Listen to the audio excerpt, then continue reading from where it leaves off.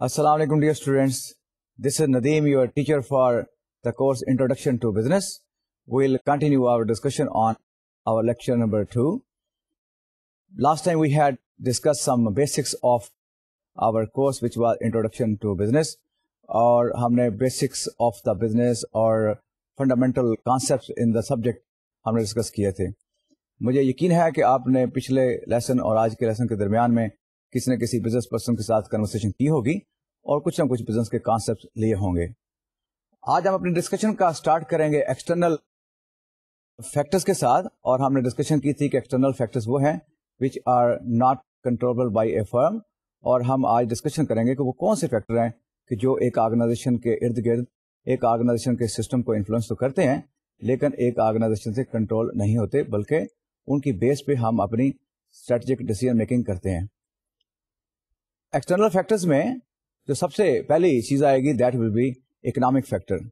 और dear student you all understand कि economy of a society economy of a country and economy of the individual that certainly plays a very vital role in the whole business activities. Whenever we talk about economic factors, तो economic factor में first of all will talk about the economy of the country as a whole we all understand now that various part of the world or various countries of the world they have got different economies or different level of richness different level of per capita or per capita i would like to tell you that is one indicator to determine or to make a judgment about the economic strength of a country which is used by many of the economists. Per capita of a country that is one indicator for the economic factors किसी country का एक per capita या किसी company की जो faeces आमदनी है, वो जितनी ज़्यादा होगी, वहाँ पे लोगों के पास डिस्पोजेबल मनी ज़्यादा होगी। और इसका तल्लक है बिज़नेस के साथ। अब मैं आपको एग्जांपल देता हूँ कि कुछ कंट्रीज़ की पर कैपिटा जो है, वो कोई twenty seven twenty eight thirty thousand dollar per year है। At the same time there are many countries of the world जिनकी per capital that is five hundred six hundred dollar अब पाँच सौ dollar और तीस हज़ार dollar there is a large large difference over there और जब किसी इंडिविजुअल की फ़ी कस आमदनी, एक एक शहरी की औसत आमदनी अगर एक साल में तीस हज़ार डॉलर होगी और एक शहरी की औसत आमदनी अगर पाँच सौ डॉलर होगी तो दोनों के अखराज में फ़र्क होगा। दोनों की प्रेफरेंसेस और प्रायोरिटी में डिफरेंस होगा। दोनों के प्रोडक्ट्स में फ़र्क होगा। और इसकी बेस पे कंपनीज़ अपनी डिसीज़न मेकिंग करती हैं। फॉर एग्ज़ाम्पल एक कंपनी जो कि रेडीमेड गारमेंट बनाती है उसको उस कंट्री के लिए जहाँ पे thirty thousand per capita income है वहाँ के लिए गारमेंट की प्राइस गारमेंट की डिज़ाइनिंग गारमेंट की पैकिंग गारमेंट की प्रमोशन वो सारी एक डिफरेंट तरीके से करना पड़ेगी as compare to a country जहाँ पे पर कैपिटा जो है वो रिलेटिवली कम होगी। सो so, per capita of the country or general economic condition of the country. This is one consideration in economic factors, जिसका तल्लक है हमारे डिसीज़न मेकिंग के साथ। और जब मैं कहता हूँ कि दीज आर अनकंट्रोलेबल तो मेरे कहने का मकसद ये होता है कि this is beyond the control of one individual firm to control the national income or per capita of a country इसका तल्लक चूँकि बहुत सारे और फैक्टर के साथ होता है लिहाजा वन फर्म जो है that is not in a position to control all these factor फिर वन फर्म क्या कर सकती है? वन फर्म अपने प्रोडक्ट को डिज़ाइन करते हुए, अपनी प्राइसेस को सेट करते हुए, अपनी डिस्ट्रीब्यूशन का डिसीज़न करते हुए और अपनी प्रोडक्ट की पैकिंग के फैसले करते हुए ये देखेगी कि जिस मुल्क में हम फॉल करते हैं, वहाँ की प्रोडक्ट क्या होना चाहिए और वहाँ की पैकिंग क्या होना चाहिए। बहुत छोटी एग्जांपल आप ले लें। एक कोला मैन्युफैक्चरिंग कंपनी जो कि पाकिस्तान में बेवरेजेस बेचती है ड्रिंक्स बेचते हैं तो यहाँ के लिए शीशे की बोतल इस्तेमाल होती है, जो कि रीयूज हो जाती है। वही कंपनी यही ड्रिंक किसी और कंट्री में जब बेचती है तो वहाँ वो टिन पैक यूज़ होता है, जो कि रीयूज नहीं होता। प्रोडक्ट एक ही है, लेकिन उसकी पैकिंग और डिस्ट्रीब्यूशन में फ़र्क पड़ गया। और ये पैकिंग और डिस्ट्रीब्यूशन फ़र्क पड़ने में एक कंसिडरेशन ये है कि कंट्री की ओवरऑल इकोनॉमी क्या है? लोगों की डिस्पोजेबल मनी क्या है? कितनी है? और कितने पैसे लोग खर्च कर सकते हैं इस प्रोडक्ट के साथ? सो so, पहली बात क्या होगी हमने जो बात अभी की है वो क्या है? कि per capita of a country or general economy of the country that is one consideration by a firm to make its decision then in economic factors एक और फैक्टर जिसको हम बड़ा इंपॉर्टेंट समझते हैं दैट इज़ जनरली एम्प्लॉयमेंट और unemployment जितना employment किसी कंट्री में बढ़ेगा, लोगों को रोज़गार मिलेगा ज़्यादा, लोगों को नौकरियाँ ज़्यादा मिलती होंगी, उतना ही उस कंट्री की इकोनॉमी स्ट्रांग होगी, लोगों के पास डिस्पोजेबल मनी ज़्यादा होगी people will spend more money on buying goods and services as well so they can spend more they can pay more और एक ऐसा मुल्क, एक ऐसी सोसाइटी एक ऐसा शहर, जहाँ पे अनएम्प्लॉयमेंट रिलेटिवली ज़्यादा होगी। लोग अनएम्प्लॉयड अगर ज़्यादा होंगे they will have less money to pay they will have less money to spend they would like to buy cheaper products so वो प्रोडक्ट वो वो कंपनियाँ जो एक से ज़्यादा मुल्कों में अपने प्रोडक्ट बेचती हैं, वो इन फैक्टर को कंसिडर करती हैं कि कौन से कंट्री में एम्प्लॉयमेंट रिलेटिवली ज़्यादा है और कौन से कंट्री में अनएम्प्लॉयमेंट अनएम्प्लॉयमेंट जो है, वो रिलेटिवली ज़्यादा है। और accordingly they make and distribute their product in these countries then is economic growth कि किसी किसी कंट्री की तरक्की की रफ्तार और उस रफ्तार की शरह सो रफ्तार को जानने के लिए हमारे पास जो स्केल होता है, उसको हम शरह कहते हैं दैट इज़ द रेट और तरक्की की जो रफ्तार है डेवलपमेंट रेट जिस रेट पे कंट्री डेवलप कर रहा हो वो एक बहुत बड़ी कंसिडरेशन है for the investment for starting a business for making the decision कि जितनी तेज़ी से किसी कंट्री की डेवलपमेंट हो रही हो, किसी कंट्री में इकोनॉमिक अपलिफ्ट हो रही हो, उतनी तेज़ी से वहाँ पे लोग इन्वेस्टमेंट करना प्रेफर करते हैं, पसंद करते हैं। इसकी बड़ी अच्छी एग्ज़ाम्पल जो है वो हमारी इस वक्त पाकिस्तान की जो नेशनल इकोनॉमी है, इसमें पिछले कुछ सालों से हमारी इकोनॉमिक ग्रोथ जो है, वो बहुत फास्ट स्पीड में है। और बल्कि let me said it is one of the fastest growing economy of the world now suddenly we all saw that so many foreign investors are attracted by Pakistan to come down over here and to invest over here बहुत सारी multinational कंपनियाँ बहुत सारे foreign investor they are coming over here to invest over here और इसके साथ साथ वो यहाँ पे आके फॉरेन इन्वेस्टर जो है they are finding even collaboration with Pakistani people यहाँ पे वो पार्टनरशिप स्टार्ट uh, कर रहे हैं यहाँ के लोगों के साथ मिलकर इन्वेस्टमेंट कर रहे हैं। और ये इन्वेस्टमेंट फॉरेन इन्वेस्टमेंट पाकिस्तान में आ जाने में जो बहुत बड़ी रीजन है वो ये है कि यहाँ का इकोनॉमिक ग्रोथ रेट जो है that is very outstanding and companies they feel that if they will invest in this kind of country which has very fast growing economy तो फ्यूचर इज़ रियली ब्राइट तो this is one more consideration in in uh, economy. So another thing which will be considered for this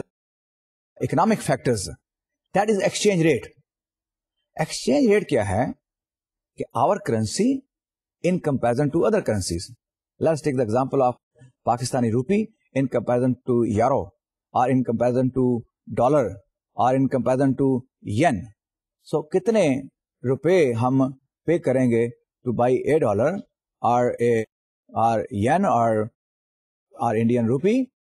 कितने हमारे currency note और कितने हमारे रुपए उसके बदले में हमें पे करना पड़ेंगे। That is called exchange rate exchange rate का बराह रास्त तलक है बिजनेसेस के साथ। वो कैसे? वो इस तरीके से कि जितना एक्सचेंज रेट किसी कंट्री के लिए फेवरेबल होगा। और फेवरेबल का मतलब क्या है? कि जब हमें कम पैसे पे करना पड़ेंगे अपनी करेंसी में टू बाई अदर करेंसीज तो उस कंट्री के इंपोर्टर्स को या मैन्युफैक्चरर्स को, या in the land large will से बिजनेसमैन को, एक बेनिफिट है एडवांटेज है इन इन ट्रेड जितना हमें रॉ मटेरियल दूसरे मुल्कों से सस्ता मिलेगा, उतनी ही हमारी प्रोडक्शन कास्ट कम हो जाएगी। और हमारी अगर प्रोडक्शन कास्ट कम होती है तो resultantly we'll have more opportunities in the market because we have got less cost for making a fine quality product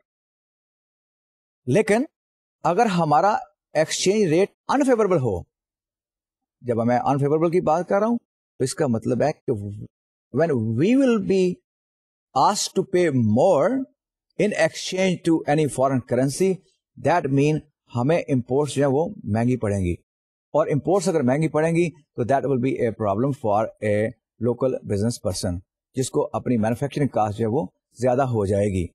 और हमें उसके लिए ज़्यादा पे करना पड़ेगा। At the same time one more factor economic factor में एक और चीज़ जो हम, हमें बहुत इंपॉर्टेंट है हमारे लिए, वो क्या है? इन्फ्लेशन रेट और कीमतों में बढ़ने का रुझान।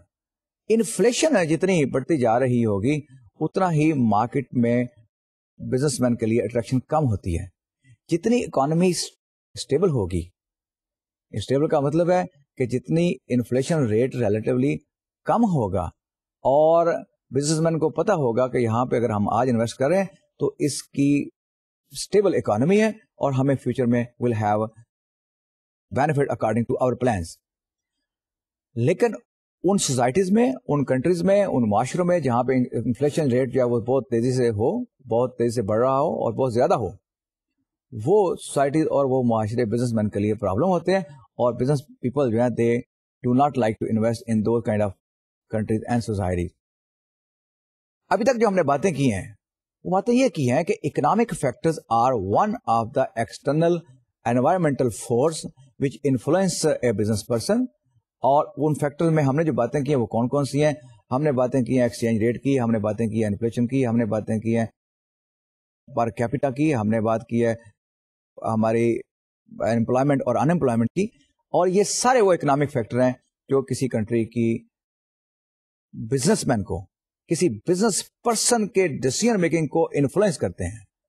लेकिन, जो मैंने बात की थी कि इसलिए हमारे कंट्रोल से बाहर है, उसका मतलब क्या है कि one firm any firm of the world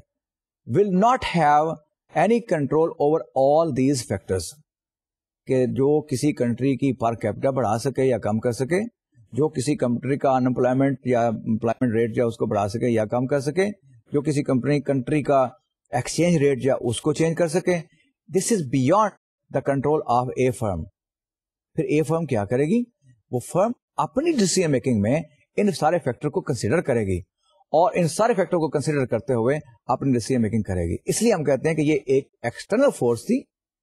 which was beyond the control of a firm rather a firm takes the decision according to these factor अपनी पॉलिसीज़ को अपनी स्ट्रेटजीज को, अपनी डिसीज़न मेकिंग को इन लाइन करती है with these factors dear student दूसरा factor जो कि अगेन बहुत इंपॉर्टेंस का हामिल है हमारे लिए और बिज़नेस पर्सन इसको बहुत कंसिडर करते हैं that is demography demographic factors में डेमोग्राफी का मतलब है study of population and population certainly is very important for any business person population हमारे लिए कस्टमर लाती है। पॉपुलेशन डिटर्मिन करती है कि साइज़ ऑफ़ मार्केट क्या होगा। साइज़ ऑफ़ कस्टमर क्या होगा। Size of types of customer क्या होगा। सो डेमोग्राफी इन सारे सब्जेक्ट के पार्ट को डिस्कस करती है जो पॉपुलेशन से रिलेटेड होते हैं। इसमें जो first thing which we consider as a business person in making are are business decision making that is total population total population of a, a country or total population of a city or total population of a mahalla जहां पे हम कारोबार कर रहे हैं so total population is one consideration or we all understand Pakistan has somewhere around 150 million people living over here it's a huge size and that certainly brings a, a large number of customers इतने बड़ी population के जो advantages हैं वो certainly ये हैं कि we have more customers more people more consumption और more opportunity for the businesses but at the same time there are many countries of the world जहाँ पे पॉपुलेशन रिलेटिवली कम है। सो so, पॉपुलेशन का कम हो जाना या ज़्यादा हो जाना ये कंट्री की इकोनॉमी के लिए और बिज़नेस की इकोनॉमी के लिए और इंडिविजुअल की इकोनॉमी के लिए। That is certainly very important अभी एक बहुत एडवांस्ड डेवलप्ड कंट्री के ने, ने, ने ये स्टेटमेंट दिया है कि हमारे पॉपुलेशन का कम हो जाना कम हो जाने की जो स्पीड है this is the biggest issue of the country और बताया कि हमारे सात लाख लोग कम हो जाते हैं हर साल। और इस पॉपुलेशन साइज़ को मेंटेन करने के लिए they are thinking so population में से जो टोटल पॉपुलेशन की हम बात कर रहे हैं this is one consideration there are some countries of the world जिनकी population that is more than a thousand million thousand million is a huge population बहुत बड़ा बेस है कस्टमर का, बहुत बड़ा बेस है बिज़नेस के लिए. This is one consideration so वो कंपनियाँ वो फर्म्स वो बिज़नेस पर्सन जो मार्केट में एंटर होना चाहते होते हैं, वो ये देखते हैं कि इस कंट्री की इकोनॉमी कितनी है, अगर आप किसी बड़ी कंपनी के साथ काम करते हैं. अगर आप किसी छोटी फर्म के साथ काम कर रहे हैं तो फिर हम देखते हैं कि इस शहर में जहाँ हमने बिज़नेस करना है, इस शहर की पॉपुलेशन कितनी है? जितना शहर कोई बड़ा होगा, वहाँ उतने ही कंजम्पशन ज़्यादा होगी, उतने ही लोग वहाँ ज़्यादा रहते होंगे और बिज़नेस पर्सन के लिए वहाँ पे अट्रैक्शन होती है। इसी तरह, वो छोटी फर्म जैसे अगर आप कोई छोटे लेवल का बिज़नेस करते हैं, आप कोई ड्राई क्लीन का बिज़नेस स्टार्ट करते हैं, कोई ज्वेलरी का बिज़नेस स्टार्ट करते हैं, कोई एयर टिकटिंग का बिज़नेस स्टार्ट करते हैं तो ये एक छोटा बिज़नेस है, लेकिन इस बिज़नेस को स्टार्ट करते हुए भी हम देखते हैं। कि जिस मोहल्ले में, जिस गली में, जिस बाज़ार में, जिस गाँव में, जिस कस्बे में हम ये कारोबार शुरू करेंगे, वहाँ की टोटल पॉपुलेशन कितनी है? So this is one consideration और ये टोटल पॉपुलेशन जो है this is again beyond the control of any firm to change it and then is second thing is population distribution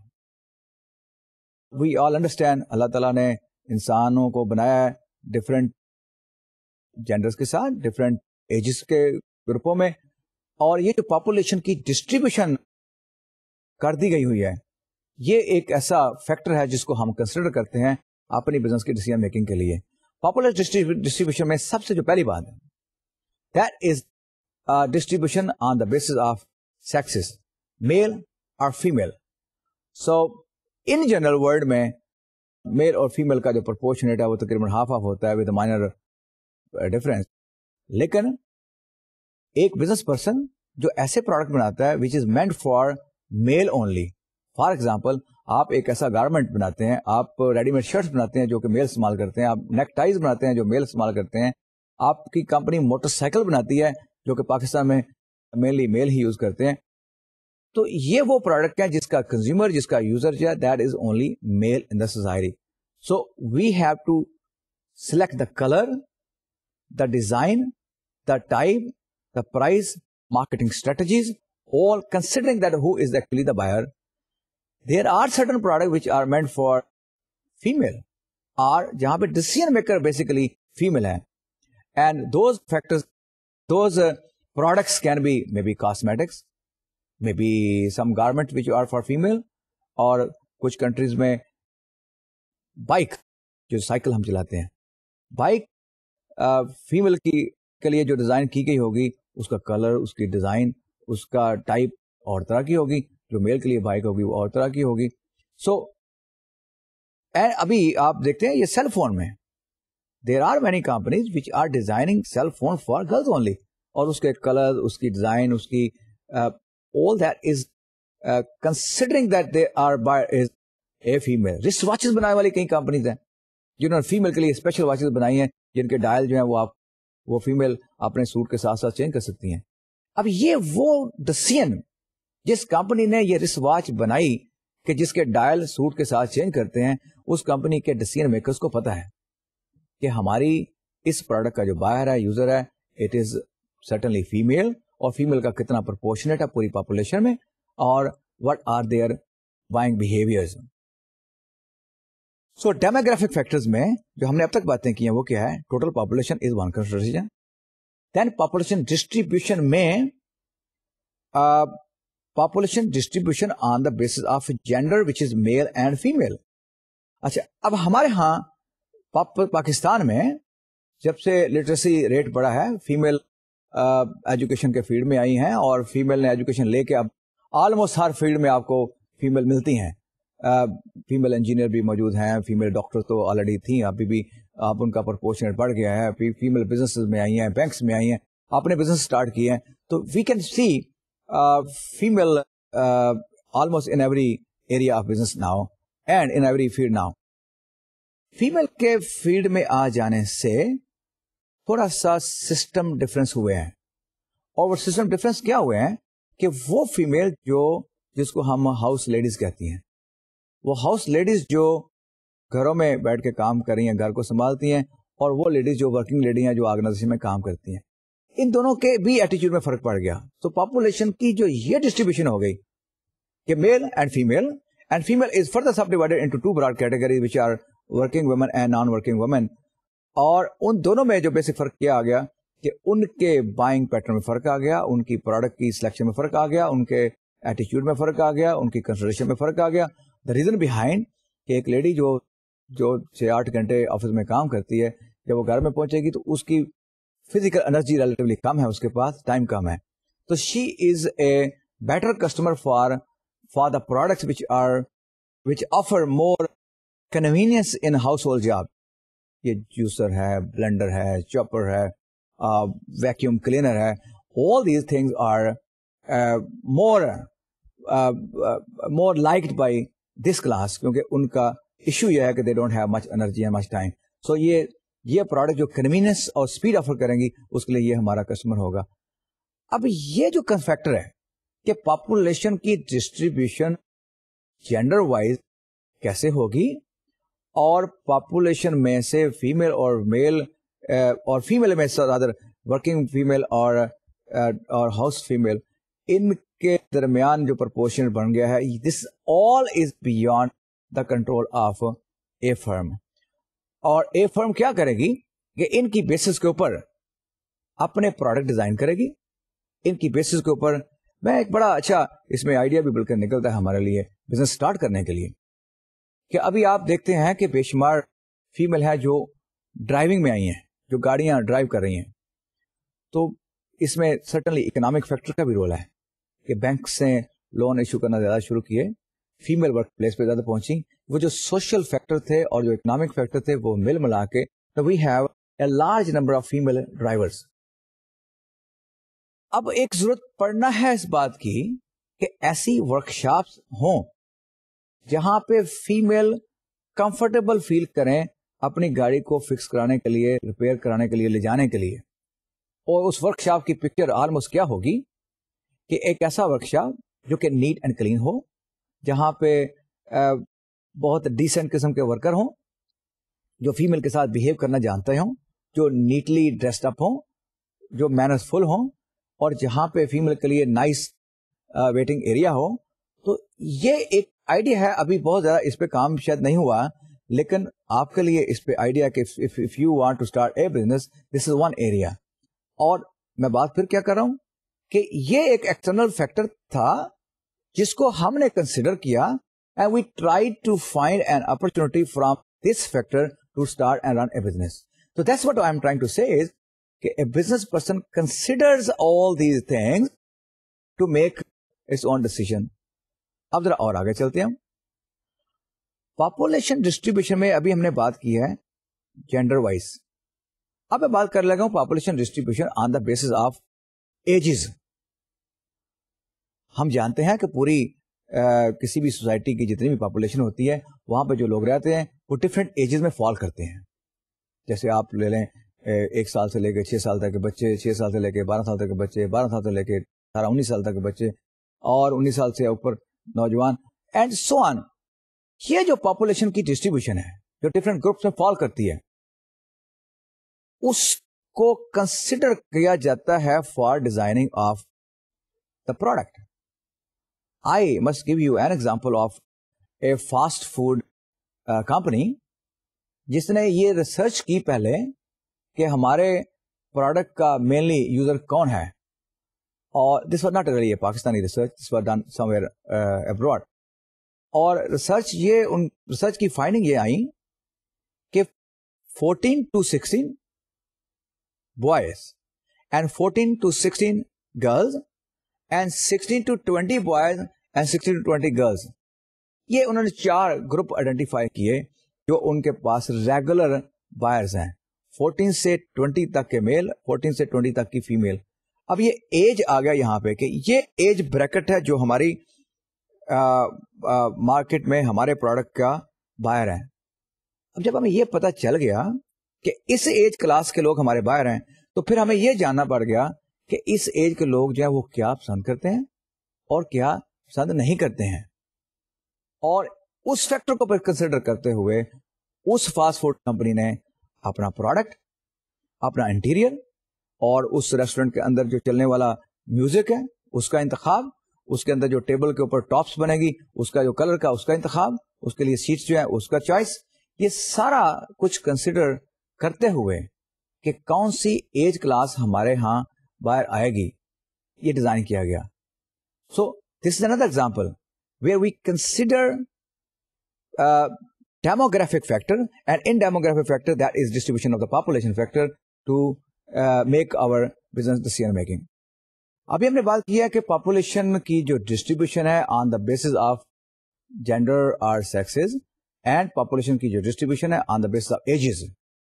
this is a consideration in demographic factors एक और चीज़ जिसका तल्लक population के साथ है और डेमोग्राफिक फैक्टर में फॉल करता है और उसको हम कंसिडर करते हैं that is population growth rate कि किस रफ्तार से किसी कंट्री की, किसी मुल्क की, किसी इलाके की आबादी बढ़ रही है या इवन कम हो रही है। मैंने भी अभी भी इससे पहले आपको एग्जांपल दी है कि ऐसे मुल्क भी हैं जहाँ पे पॉपुलेशन ग्रेजुअली कम हो रही है और कुछ कंट्रीज़ में पॉपुलेशन की कम होने की स्पीड इतनी ज़्यादा है कि उनके लिए ये प्रॉब्लम है कि इस कम होने वाली स्पीड को कैसे मैनेज करना है। लेकिन बहुत सारे कंट्रीज़ के साथ ये प्रॉब्लम है कि बढ़ने वाली पॉपुलेशन को कैसे मैनेज करना है। लेकिन हमारे लिए इसमें जो कंसर्न क्या है? हमारा कंसर्न ये है कि we are business people and we got to understand कि what is the growth rate of the population ताकि उसकी बेस पे हम प्रोडिक्ट कर सकें कि in future how many customer are we going to expect और how much market size expansion are we going to expect in the future और इस फैक्टर के लिए वी गॉट टू नो कि what is actually the growth rate of the population and what do we expect कि ये population का जो growth है ये किस स्पीड से और आगे जाएगा so that is another consideration in demographic factors so आप ये भी देखते होंगे कि दुनिया के कुछ कंट्रीज़ ऐसे हैं कि जो मुख्तलिफ़ मुल्कों के रहने वाले लोगों को अपने यहाँ इमिग्रेशन देकर नेशनैलिटीज देकर अपने मुल्कों में बुलवाते हैं। आप अखबारों में इश्तहार भी पढ़ते हैं, लोग अप्लाई कर रहे होते हैं इमिग्रेशन के लिए। तो ये क्वेश्चन एक बनता है कि why these countries are attracting some people from abroad to their countries उसकी वजह यह है कि वो अपने पॉपुलेशन साइज़ को population mean that useful population which they want the type of population which they want for their countries उसका shortage हो रहा होता है।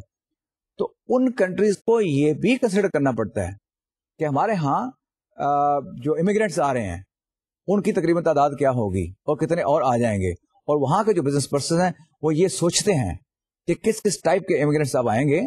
और उनके आने के साथ कौन कौन से प्रोडक्ट्स कौन कौन सी सर्विसेज़ कौन कौन सी टाइप की एक्टिविटीज़ जो है वो सोसाइटी में बढ़ जाएँगी या कम हो जाएँगी और accordingly they make their own decision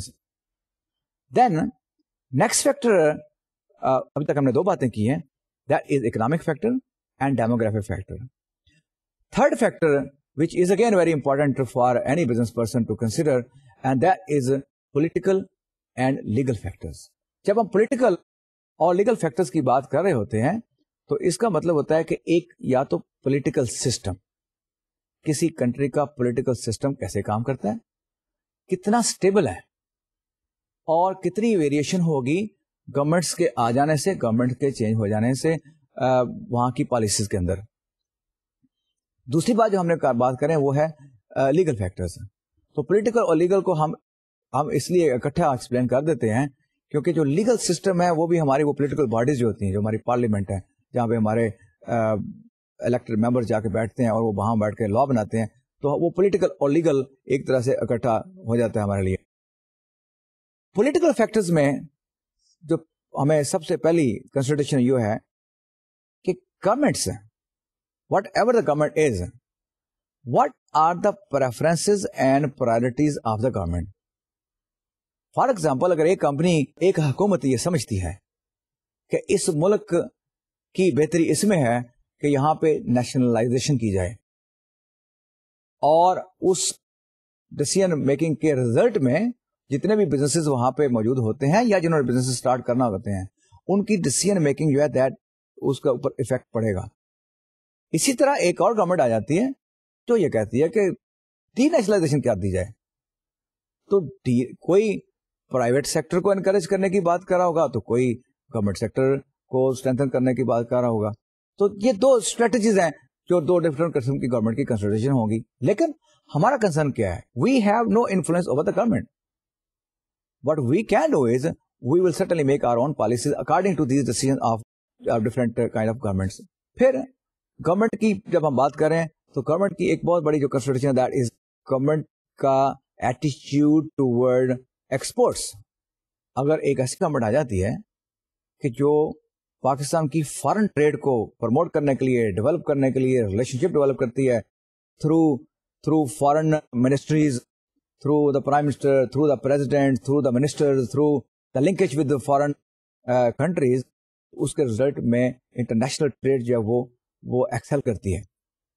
और ये एक्सेल क्यों की है? Because of that political scenario कि वो जो पॉलिटिकल सिस्टम हमारा है, वो सिस्टम की प्रेफरेंस ये है कि हमारे यहाँ, और इसकी बड़ी अच्छी जो एग्जांपल है वो ये है कि हमारे गवर्नमेंट बहुत सख्ती से इस बात को कोशिश करती हैं कि हमारी जो एम्बेसीज हैं या जो हमारे हाई कमीशन हैं, जो अब्रॉड बैठे हुए हैं, उनको गवर्नमेंट की इंस्ट्रक्शन होती हैं कि वो वहाँ बैठे हुए पाकिस्तान के जो बिज़नेस पर्सन हैं, उनके लिए अपॉर्चुनिटी ढूंढें। और दे डू इट वो वहाँ पे बैठ के पाकिस्तानी के लिए अपॉर्चुनिटी ढूंढ रहे होते हैं, जो कि वो यहाँ से पास ऑन करते हैं और यहाँ के बिज़नेस पर्सन जो है, वो उससे एडवांटेज लेते हैं। इसी तरह जब हमारे हुक्मरान या हमारे मिनिस्टर्स या हमारे फॉरन मिनिस्टर्स जब ये विज़िट करते हैं डिफरेंट कंट्रीज़ को, या डिफरेंट कंट्रीज़ के डेलीगेशन जब पाकिस्तान में आते हैं तो वहाँ पे ये डेफिनेटली एक ऑब्जेक्टिव होता है कि किस तरीके से हमने अपनी ट्रेड को प्रमोट करना है। तो किस किस कंट्रीज़ के साथ हमारा ट्रेड रिलेशनशिप बनने हैं, ये डिपेंड करता है गवर्नमेंट के ऊपर पॉलिटिकल सिस्टम के ऊपर।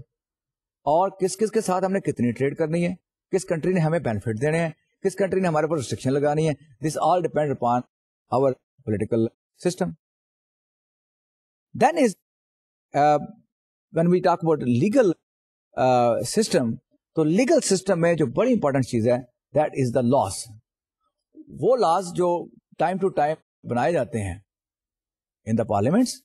or through executive orders जो ऑर्डिनेंस जारी होते हैं। इन लॉज का इफ़ेक्ट और इम्पैक्ट है बिज़नेस के ऊपर। और ये लॉज डिफरेंट हो सकते हैं. This can be law related to health law related to import और export law related to taxation law related to packing law related to child labour law related to labour unions ये जितने भी कवानीन बनेंगे, इन सारे कवानीन का अतलाक होगा बिज़नेस के ऊपर. और बिज़नेस पर्सन ने अपने बिज़नेस डिसीज़न मेकिंग में इन सारे लॉज को कंसिडर करना होता है. और कोई बिज़नेस पर्सन ऐसा नहीं होगा या एक फर्म ऐसी नहीं होगी जो इस पोजीशन में हो कि गवर्नमेंट के इन लॉज को चेंज किया जा सके। We can not government decide for the benefit of the society at large so one business person or one company cannot uh, take a, decision to to change either the law or decide against the law और हमने जो recent आपने देखी हैं जो हमारे यहाँ laws हैं बड़ी छोटी छोटी एग्जांपल हमारे इर्द गिर्द जो आई हैं कि शादी के मौके पे खाना होगा या नहीं होगा। हर दो सूरतों में इसका तल्लक है बिज़नेस के साथ। अगर खाना होगा तो आप बेहतर जानते हैं कि कौन कौन सी इंडस्ट्रीज़ हैं जिनको एडवांटेज मिलेगा। और अगर गवर्नमेंट कहती है कि शादी के मौके पे खाना नहीं होगा तो कौन कौन सी इंडस्ट्री को डिसएडवांटेज होगा और कौन सी और इंडस्ट्री को एडवांटेज हो जाएगा? अब ये एक लीगल कंसिडरेशन है। इसी तरह आ, बसंत के बारे में लॉ कि बसंत अलाउड है कि नहीं अलाउड है? अगर अलाउड है तो बेशुमार प्रोडक्ट उससे प्रमोट होगा डेवलप होगा। और नहीं है तो बेशमार प्रोडक्ट जो वो नहीं होगा। So these all are various laws which are coming up and we seeing it कि इनकी वजह से बिज़नेस के डिसीज़न मेकिंग के ऊपर इंपैक्ट पड़ता है। लेकिन there is no single firm which can change all these laws of the countries laws of the state और laws of the of the city government so that is political and legal consideration इसी तरह government की taxation policies के tax rate क्या होगा? Tax कितना कितना charge हुआ करेगा? टैक्स कौन कौन सी प्रोडक्ट पे होगा? टैक्स की कौन कौन सी फॉर्म होंगी? ये भी कंसिडरेशन है। और हम we have to pay these taxes or we have to make our policies according to these taxation policies of the government इसके साथ साथ कुछ चीज़ें हैं जो हमारा प्राइसेस का कुछ प्रोडक्ट के ऊपर गवर्नमेंट का कंट्रोल है। और उन प्रोडक्ट के चेंज सम टाइम बहुत सारे और प्रोडक्ट के ऊपर इफ़ेक्ट कर रही होती हैं। Let's take the example of prices of oil oil prices का बढ़ जाना या कम हो जाना। इसका इम्पैक्ट है ट्रांसपोर्टेशन के ऊपर इसका इम्पैक्ट है overall costing of the product के ऊपर but we are not in a position to make any change into into this decision of the states because this decision has uh, so many other consideration which are beyond the control of any single firm. तो अभी हम बात ये कर रहे हैं कि जो पॉलिटिकल और लीगल फैक्टर्स हैं जिसमें सेंट्रलाइजेशन आ गया डिसेंट्रलाइजेशन आ गया एनकरेजमेंट टू एक्सपोर्ट आ गया या एनकरेजमेंट टू इम्पोर्ट समटाइम वो आ गया या गवर्नमेंट के फॉरेन रिलेशनशिप हैं या लोकल लॉज हैं which are influencing a business ये वो सारे फैक्टर्स हैं which are which are and which should be a consideration of a business person a business firm or a company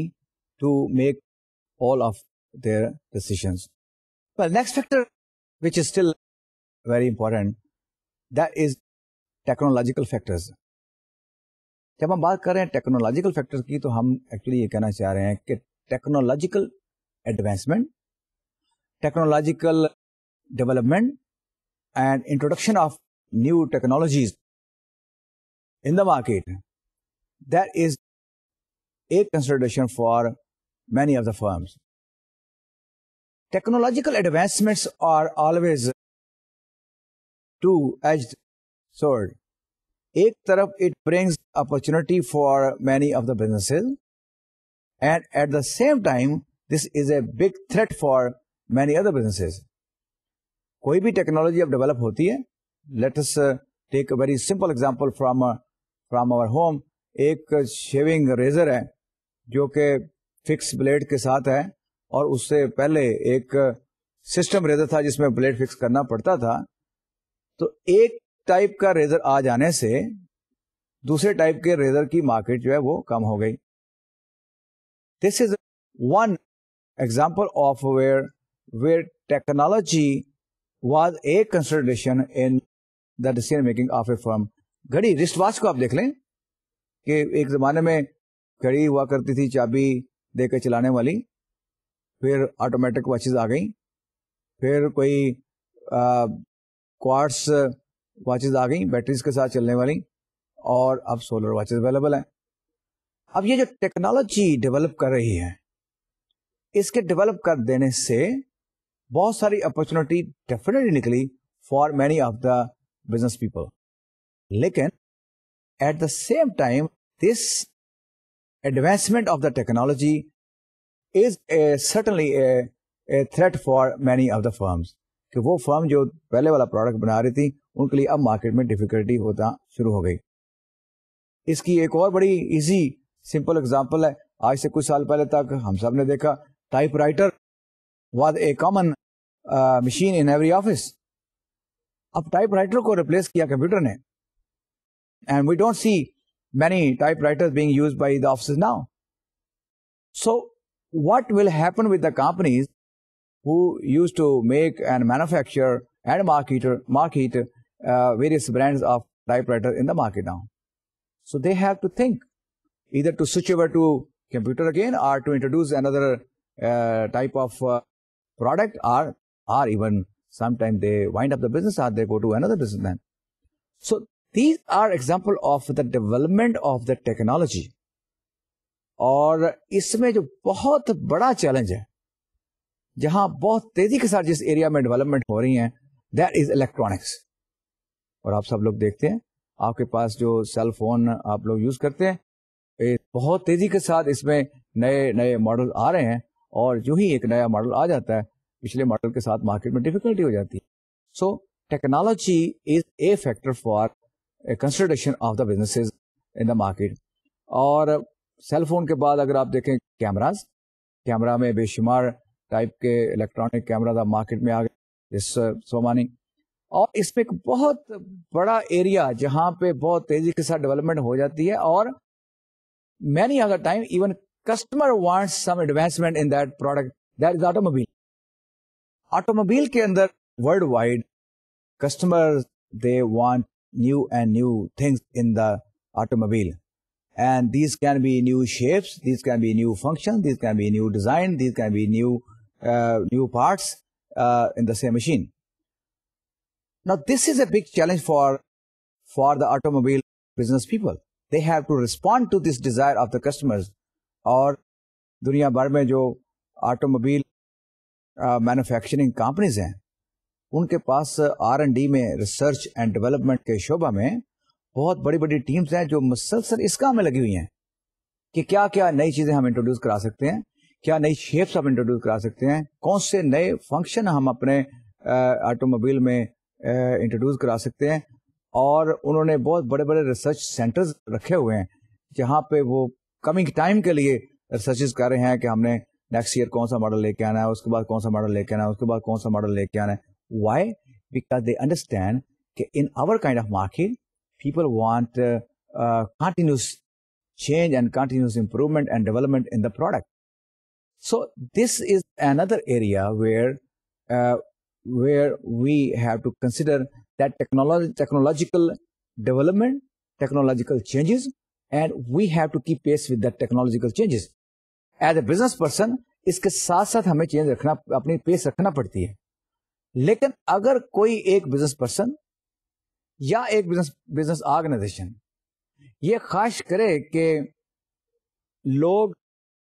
technological advancement मांगना बंद कर दें या उनके कंपेटर्स जो हैं वो एडवांस प्रोडक्ट मार्केट करना बंद कर दें। तो suddenly this is you all understand it's not possible how can we pass के कंपनी कि आप भाई जदीद किस्म की घड़ियाँ मत बनाएँ? या आप, आप किसी को ये नहीं कह सकते आप मॉडर्न पैकिंग में अपना कोला ड्रिंक जो है वो मार्केट में ना लेके आए। वी कांट से इट या आप हमारी जो फीमेल स्टूडेंट्स हैं ये जानती हैं कि कॉस्मेटिक्स में बेशुमार नई नई टाइप की प्रोडक्ट्स आ रही हैं तो कोई एक कंपनी दूसरी कंपनी को फोर्स नहीं कर सकती कि भाई you are not allowed to और I don't allow you so technological advancement are are stopless ये चल रही हैं और चलता रहना है। फिर हम क्या करें? हमारे लिए ऑप्शन क्या है? हमारे लिए ऑप्शन ये है कि इन डेवलपमेंट्स को कंसिडर करते हुए अपने लिए रिश्ते निकालें, जिसको हम स्ट्रेटेजिक डिसीज़न मेकिंग करते हैं कि कितनी तेज़ी से चेंज आएँगी और आए, आ रही हैं। Then is from technological advancement अब आप जरा थोड़ा सा you are student of business आज के बाद देखिएगा वो प्रोडक्ट जो आप यूज़ करते हैं वो प्रोडक्ट जो आप खरीदते हैं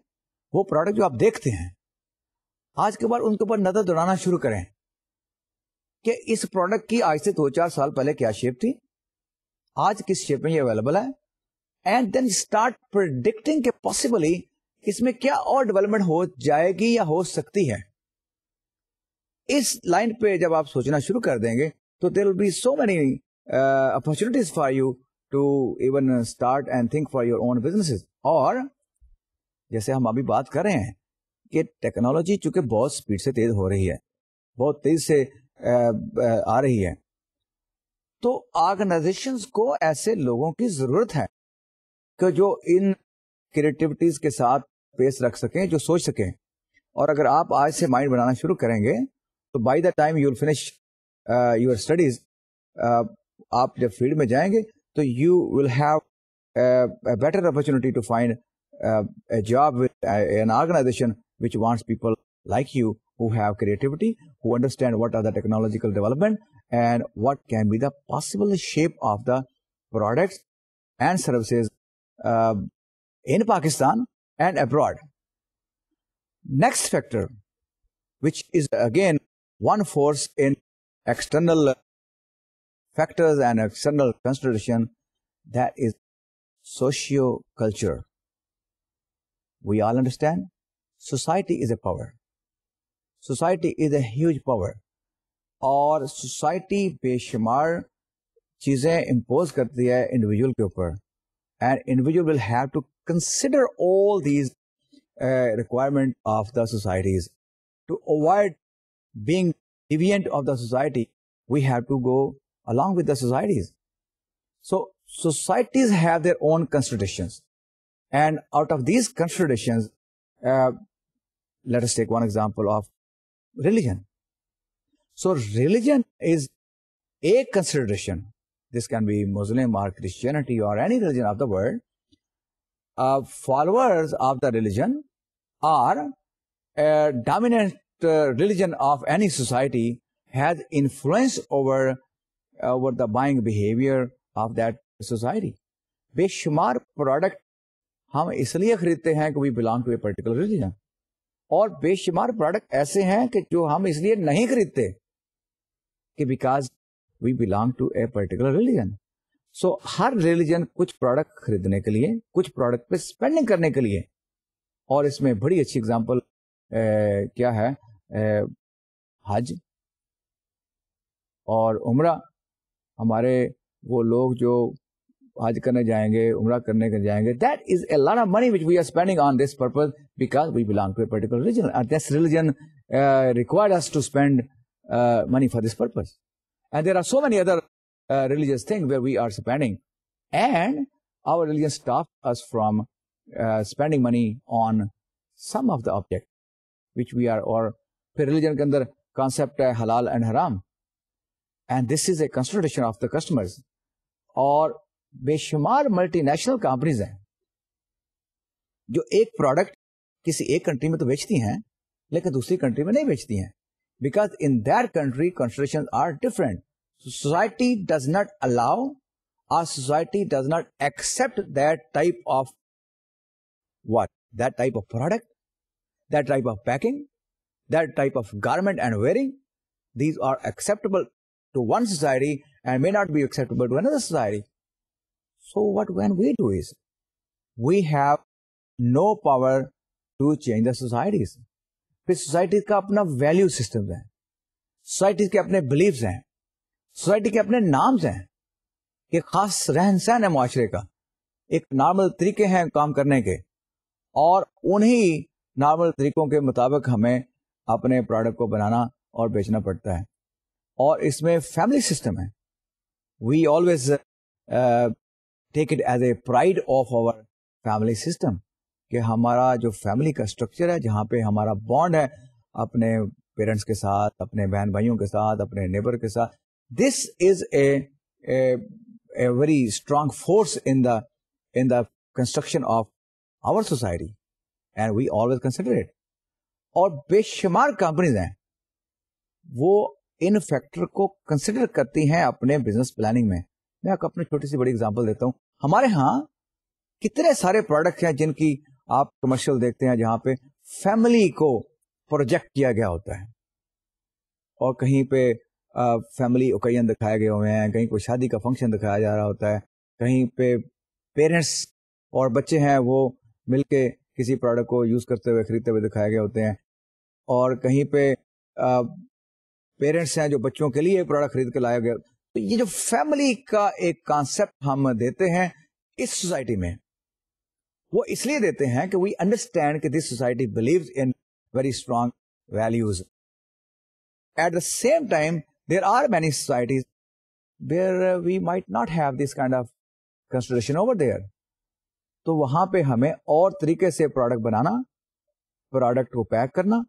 और प्रोडक्ट को प्रमोट करना पड़ेगा. Dear students our next factor of consideration is natural factors और नेचुरल फैक्टर जिसको हम आ, कह सकते हैं एक्ट ऑफ़ गॉड बेशुमार नेचुरल फैक्टर हैं जो हमारे कंट्रोल से बाहर हैं। और ये वो चीज़ें हैं जो हम आए दिन देखते हैं। कभी फ्लड है कभी स्टॉम्स हैं कभी अर्थक्वेक्स हैं और बहुत बड़ी एक जो पावर है that is changes in the weathers कि कभी शदीद गर्मी आ गई है, कभी शदीद सर्दी आ गई है, कभी ये जो क्लाइमेटिक चेंजेस हैं these are natural factors natural forces और बिज़नेस पर्सन क्या करेंगे? इन फैक्टर को कंसिडर करते हुए अपने प्रोडक्ट डेवलप करेंगे, अपनी प्रमोशन डेवलप करेंगे, अपनी मार्केटिंग प्लानिंग अपनी प्रोडक्शन प्लानिंग इसकी बेसिस पे करेंगे। एंड वी ऑल अंडरस्टैंड आपको पता है आप यकीन जाते होंगे आइसक्रीम खाने के लिए और आपको पता है कि आइसक्रीम ज़्यादा इस्तेमाल हम करते हैं समर में। और आइसक्रीम मैन्युफैक्चरर को पता है कि आप लोग ज़्यादा आइसक्रीम करते हैं इस्तेमाल गर्मियों में। और गर्मियों के स्टार्ट पे ही आइसक्रीम मैन्युफैक्चरिंग कंपनी जो है they start telling you and educating you कि these are the product which are there for for all of us so and at the same time there are some products which are for winter and that can be sweater that can be gloves that can be heater that can be uh, uh, geyser ये वो सारे product हैं जो winter में use होने हैं winter winter में consume होने हैं सो so, कुछ कुछ कंपनियाँ जो इस टाइप के प्रोडक्ट बनाती हैं वो अपनी डिसीज़न मेकिंग के लिए कंसिडर करती हैं इन फैक्टर्स को कि हमें uh, कौन कौन से प्रोडक्ट इस सीज़न में So, season and weather is another natural factor which we consider for our decision making. लेकिन वी ऑल अंडरस्टैंड आपको भी पता है, मैं भी जानता हूँ कि कोई ऐसी कंपनी है दुनिया की जो कहे कि मैं अर्थक्वेक को रोक सकती हूँ, या कोई ऐसी फर्म है जो कहे कि हम सैलाब को रोक सकते हैं, और कोई ऐसी कंपनी है जो सर्दियों, गर्मियों को रोकने की कुवर रखती हो obviously not and we all understand कि these all are these all are natural factors and natural forces. और इन नेचुरल फैक्टर को हमने कंसिडर करना होता है अपने डिसीज़न मेकिंग में and we may not we may way we can not actually change all these factors over here natural factor की एक बड़ी अच्छी एग्जांपल हमारे सामने अर्थक्वैक पाकिस्तान में आया और बेशुमार उससे नुकसान भी हुआ। बेशुमार बिजनेसेस ऐसे थे जिनको नुकसान हुआ। लेकिन काफ़ी इंडस्ट्रीज़ के लिए वहाँ से अपॉर्चुनिटीज़ भी निकली हैं जैसे कंस्ट्रक्शन कंपनी है जो रोड बना रहे हैं जो वहाँ ब्रिजेस बना रहे हैं जो घर बना रहे हैं वहाँ पे स्कूल बना रहे हैं so this certainly businesses and it damages it damaged many of the businesses over there so this is again beyond the control of anybody nobody can uh, uh, stop it and nobody can bring it so natural factor जैसे हम बात करें बहुत सारे और factor के साथ साथ कि these are not in in our control so we can not change them so अब डियर स्टूडेंट्स आज हमने जो बातें की हैं, वो ये की हैं कि हर ऑर्गेनाइजेशन के इर्द गिर्द there are some factors which are beyond the control of a firm और ये सारे फैक्टर मिलकर एक बिज़नेस ऑर्गेनाइजेशन को और इस बिज़नेस ऑर्गेनाइजेशन के अंदर जो लोग काम कर रहे हैं, उनकी डिसीज़न मेकिंग को इन्फ्लुएंस कर रहे होते हैं। और हम एज ए बिज़नेस पर्सन इन सारे फैक्टर को कंसिडर करके अपने प्लानिंग कर रहे होते हैं, अपनी डिसीज़न मेकिंग कर रहे होते हैं, लेकिन हमारा इनके ऊपर कंट्रोल नहीं होता। और ये जो फैक्टर हमने आज डिस्कस किए, इसमें हमने यहाँ पे ख़त्म किया था नेचुरल फैक्टर उसके अलावा हमने बात की थी सोशियो इकोनॉमिक फैक्टर्स की, हमने बात की टेक्नोलॉजिकल फैक्टर्स की हमने बात की थी डेमोग्राफी की, हमने बात किया पॉलिटिकल और लीगल सिस्टम की, और फिर हमने जहाँ से स्टार्ट लिया था फ़र्स्ट फैक्टर हमने बात की जहाँ पे इकोनॉमिक फैक्टर्स की। तो ये, वो सारे फैक्टर्स हमने जो बात की है कि ये सारे वो हैं जो बहुत इंपॉर्टेंट है एक ऑर्गेनाइजेशन के लिए और बहुत इंपॉर्टेंट रोल प्ले कर रहे होते हैं एक ऑर्गेनाइजेशन की वर्किंग के ऊपर और these are certainly beyond the control of any firm So dear students, आज uh, I'm sure you got an idea of uh, all these things which are uh, working around an organization and leaving an impact on the organizations. So what I will suggest to you all is after this lecture, you have free time, when you go out, when you go to market, when you read the newspaper, when you listen the news bulletin on televisions, just try to make your judgments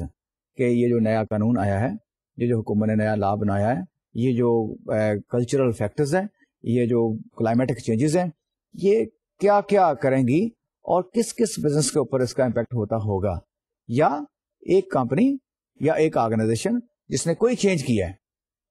तो थोड़ा सा आप जज करना शुरू करें कि ये जो चेंजेस आई हैं, ये तकरीबन क्या वजह हुई होगी? और वो कौन से फैक्टर हुए होंगे जिन्होंने इस कंपनी को या इस ऑर्गेनाइजेशन को या इस फर्म को या इस सेलर को अपने डिसीज़न चेंज करने पर मजबूर किया होगा। इसके साथ ही हम आज की गुफ्तु का अख्ताम करते हैं। इस लेक्चर के अख्ताम पर मैं आप सब लोगों को खुदा हाफिज कहूँगा और अपना ख्याल रखेगा सी यू नेक्स्ट टाइम